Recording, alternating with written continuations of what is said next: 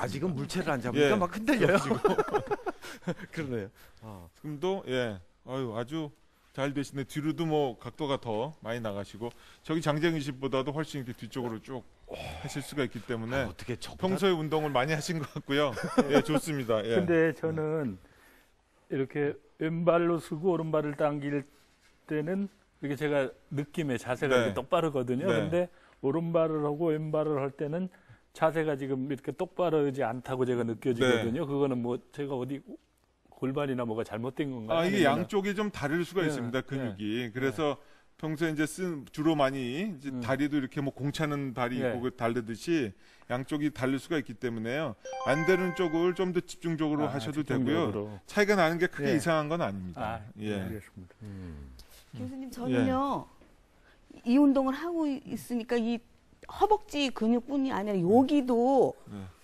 당겨지면서 아주 운동이 많이 되는 것 같고 참 좋은데요. 너무 여기도 당겨지는데. 팔도 사실은 잡은 팔이 네, 일을 네. 하는 거죠. 그래서 쭉 뻗치고 있기 때문에 같이 이제 네. 스트레칭 하는데 전신 운동이 되는 것 같은 네, 느낌이에요. 그렇죠. 그럴 수 있는데 하여튼 이 운동은 앞에 엉덩이 관절 구부리는 그 운동을 음, 집중적으로 여기가- 한다고 생각하시고 집중적으로. 아. 고기 느낌을 갖다 이렇게 잘 느끼시면 되겠습니다. 네. 예, 지금처럼 앞에는 잘 보셔야 되고 좌우로 예. 틀어지지 않고 잘 아. 되셨고요. 예.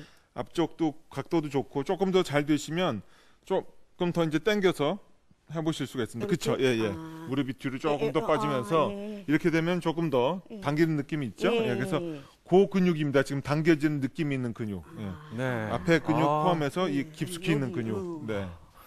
그 근육을 이제 늘리는 그런 네. 거죠. 그러네요. 좋습니다. 잘하셨습니다. 어, 뭐 우리 이렇게 한번 마사지 한번 할까요, 이거? 아니 처음에는 정말 아우 막 당긴다 막 이런 느낌을 많이 받았는데 네. 몇번 이렇게 반복을 하다 보니까 좀 시원한 느낌이 나요. 야 그런데 우리 체험단 여러분들 정말 잘합니다. 자 우리 저 최혁희님 네. 해보시니까 어떠세요? 교수님, 네. 저는요, 지금 방금 배운 이 동작을 집에 가서 한번 해보려고 하거든요. 그런데 이 의자 대신 가구나 벽을 잡고 이 동작을 해도 괜찮을까요? 네, 그렇습니다. 그래서 안전하게 하실 수 있는 그런 기구를 이용하시면 되는데 고정된 게 좋죠. 그래서 움직이지 않는 것, 위험하지 않은 것, 또 주변 잘 보시고요.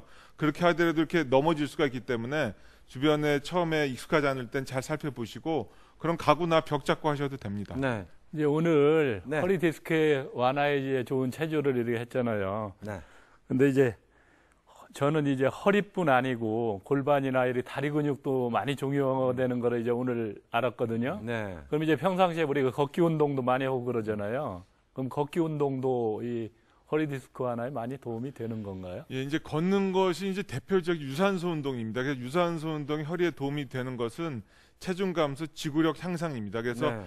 허리 주변 근육 강화에 직접 도움이는 이제 된다는 것은 아직 이제 의문시되고 있지만은 여러 가지 부수적인 효과를 음흠. 통해서 도움이 되는 것이기 때문에 네. 또 허리에 부담 없이 할 수 있는 운동이 걷기입니다. 대표적인 게. 아, 그렇죠. 네, 네. 하시면은 도움이 됩니다. 자, 허리 디스크를 완화시켜주는 체조. 자, 마지막으로 우리가 무리하면 안 되지 않습니까? 네. 주의할 점이 뭐가 있나요? 그 남들이 좋다고 다 똑같이 하시는 분들이 있습니다. 그래서 그거는 다 네. 개인 차이가 있기 때문에 그 네. 내에서 하셔야 되고요. 또 하다가도 불편한 게 느껴지면 네. 중단하셔야 되고 네. 하고 나서 이제 당기는 느낌 이런 것들이 한 두시간 정도까지 유지되는 건 괜찮은데요. 그 네. 다음 날까지도 아프고 음. 또 날카로운 통증, 뻗치는 통증이 있다. 이것은 조심하셔야 되니까 오늘 배우신 거 범위 내에서 네, 네. 본인 느낌 잘 기억하시고 네. 하시면 좋겠습니다. 자, 여러분들 잘 들으셨죠? 뭔가 통증을 느끼는 건 좋은데요. 그 통증이 두시간 이상 간다는 거는 무리를 한다는 겁니다. 그게 좀 조심해 주시면서 이 동작 다시 한번 보시면서 천천히 꼼꼼하게 따라서 해 보십시오.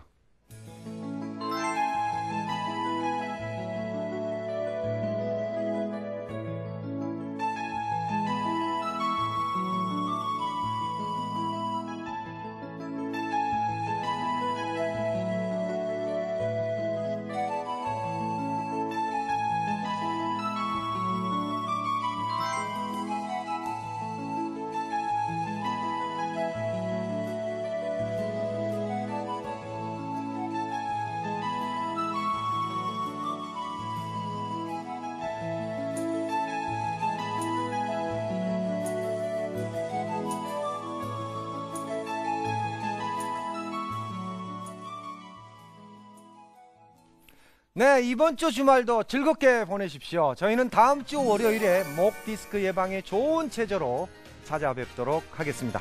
힘차게 고를 외치면서 인사드리겠습니다. 하루 30분 운동! 목! 든든, 든든,